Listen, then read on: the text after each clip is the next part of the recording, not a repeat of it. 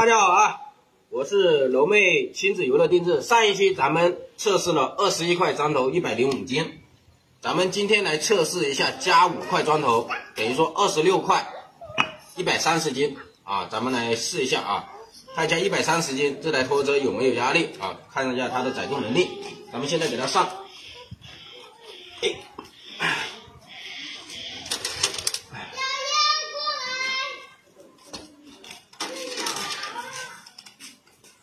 三排，